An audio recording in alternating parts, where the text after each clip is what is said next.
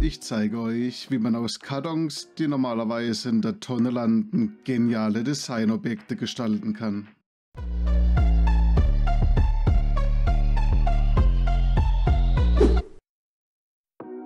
Für dieses Projekt habe ich mir in Fusion eine Designerlampe konstruiert.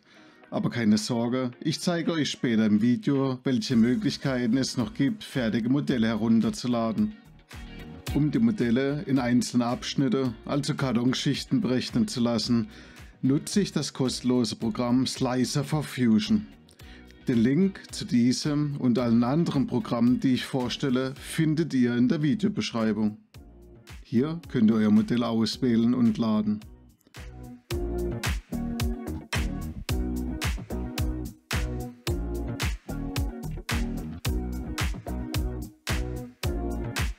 Übrigens, auch hier gibt es schon Beispiele.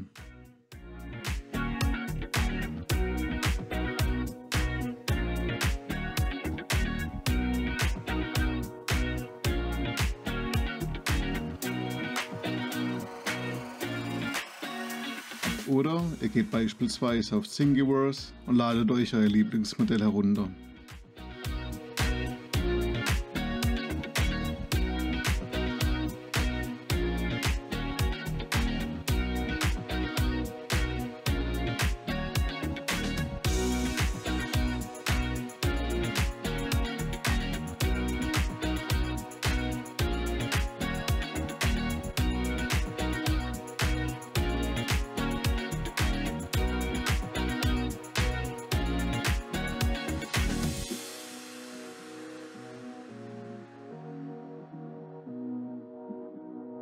Bei Units stellt die Maßeinheit in Millimeter oder Zentimeter um.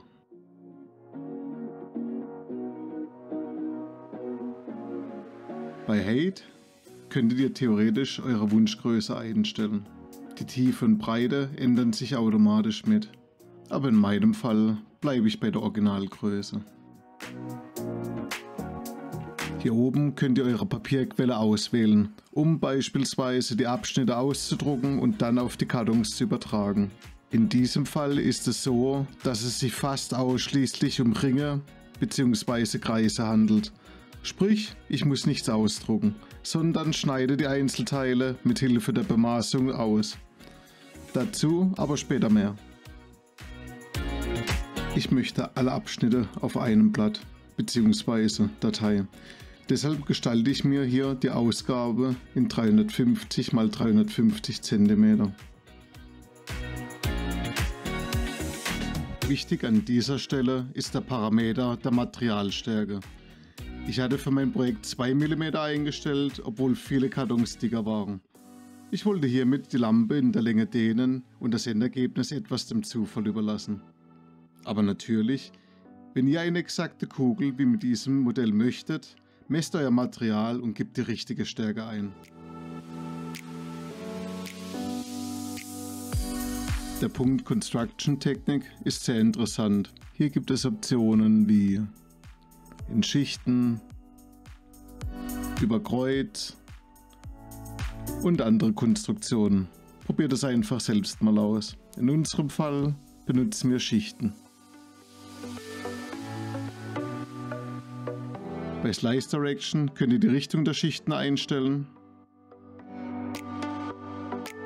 Hier passt es aber soweit, also wieder zurück. In Assembly Steps seht ihr, wie das Modell letztendlich aussehen wird. Und könnt durch die einzelnen Schichten navigieren. Get Plans ist unsere Ausgabe. Falls ihr es ausdrucken möchtet, wählt PDF. Wir möchten es nur digital, um die Abmessung zu erhalten.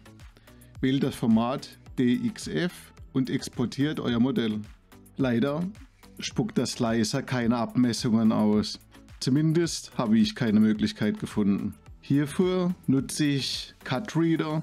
Den Link findet ihr ebenfalls in der Videobeschreibung. Auch hier gibt es leider keine automatische Bemaßung, deswegen ist hier etwa Fleißarbeit gefragt. Über das Linear-Tool lassen sich die Abmessungen schnell einzeichnen. Ist alles bemaßt, kann die Arbeit losgehen. Für die Zuschnitte habe ich mir einen Kreisschneider gebaut. Das Videotutorial findet ihr in der Videobeschreibung.